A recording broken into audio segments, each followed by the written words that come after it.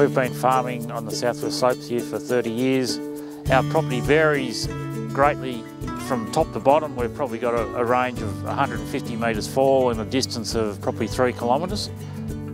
Working with a local soil scientist and agronomist helped us understand the variation of soils we have across our property.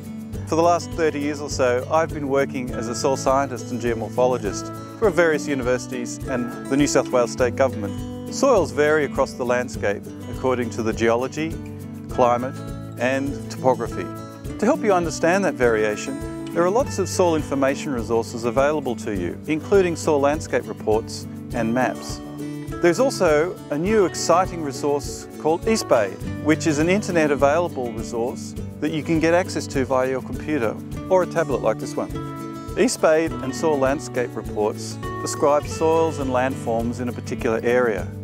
The property we are on today is on the Cootamundra sheet and has been mapped as the Crowther soil landscape.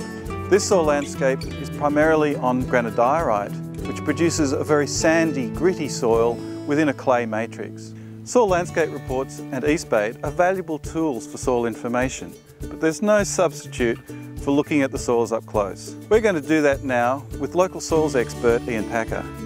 One of the most rewarding parts of uh, working with soils has been working with farmers, looking at soil pits and describing the soils with them and showing them how they manage their soils. The first thing we do when we're describing a soil pit is we clean off the face.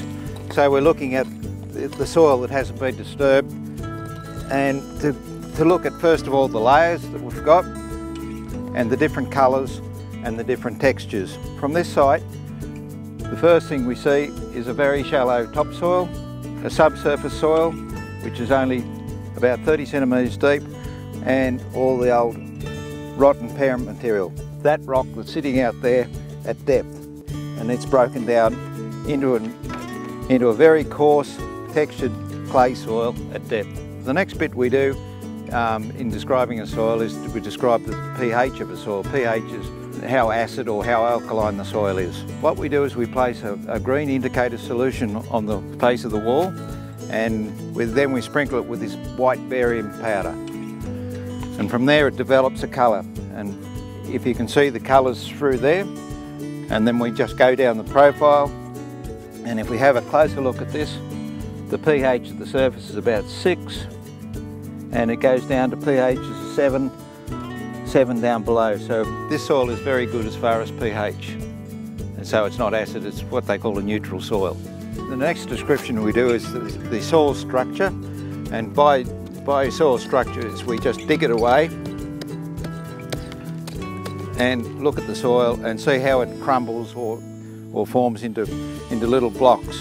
And this one at the surface is what they call a massive soil. It has no structure in it at all. And when we go to the deeper layer where there's a little bit more clay, the soil's got a little bit more structure and it'll tell us that there'll be a bit more drainage for water and for, for root growth. It's a pretty good soil. And the final thing we look for is what the plants are telling us and where the, where the roots are growing in the soil, which is a really good indicator of how good the soil is and where there's water and where there's chemicals that might stop it from, from growing. Whether there's any toxic elements such as an acid soil or, or whether it's too much salt. In the soil you can see the roots have gone quite, quite deep in the soil to over a metre. So it's telling us that the, the plants are having no trouble growing in this soil. What Ian's just given to me is a, uh, a small bit of the subsoil and I'm doing what's known as a field texture on it which is where we wet the soil down, create a little ball and then a ribbon. The longer the ribbon, the more clay there is in the soil. If it's a fairly short ribbon before it breaks, then it might have a lot more sand in it. Actually, this has got a bit of both. It's, uh, as you can see, it's a very clayey soil. However, I can also feel a lot of the grittiness. It's got a very coarse sand in amongst it as well. This one is probably, oh, I guess, a coarse sandy clay loam. From all the descriptions that we've done on this soil, we can now call it a brown tenosol. And what that means from a practical point of view is it's a well-drained soil. It has low water holding capacity, so it needs a lot of rain to keep the moisture up to the plants. And it's more suited for mixed farming rather than straight cropping. The other important aspect of this soil and the slope that it's on is a high risk for erosion. And if we're going to crop this country, we have to go to a no-till stubble retention system so we keep the erosion to a minimum. Okay, now we've described the soil on top of the hill. What we're going to do is uh, move down to the mid-slope and have a look at the soil down there.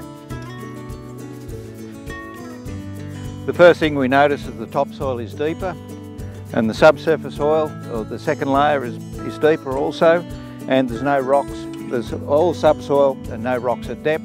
The other thing we're noticing is the pH. The pH in this soil is a little bit uh, acid at the surface, but it's a good pH right through, a neutral pH. So it's good for, for growing crops and pastures. And there's a little bit of uh, indication that some waterlogging at depth. Uh, the description of this so soil would be called a yellow chromosol. An interesting feature of, these, of this soil type is that we have these um, iron and manganese nodules. Now that's indicating to us we have a, a, a, rising and falling water table, even though we're in a, in a well-drained landscape. The water does come up and form these iron and manganese oxides. And the recommended management for this soil is um, mainly for cropping in, in this mid-slope. It's a better soil type. It has a lower slope, but it's still very erodible and it still needs to have no-till and stubble retention. And the other aspect of keeping our stubble is to improve the soil organic matter. So we've seen the soils on the crest of the hill and also in the mid-slope location. We're now going to go down to the lowest part of the slope. And now we're in the bottom of the landscape we've been describing today. The first thing we look at is the colour, and we can see it's obviously much yellower than the other two soils we've been looking at. The next major difference is the subsurface soil. It's uh, what we call bleached.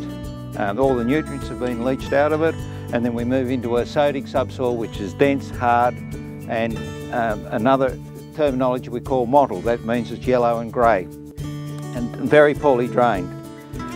The acidity or the pH, we have an acid topsoil, probably caused by land management, going to a more alkaline, alkaline soil with depth. Management implications of this soil are it's a, probably a marginal cropping soil, probably better suited to pastures. The main reason for that is because it waterlogs so much. It's sodic, that means it's very hard for the roots to grow through and maybe it's probably better to take it back to a pasture and still keep it as pasture. So whether you use your own spade or e-spade, you can enjoy learning all about your soils.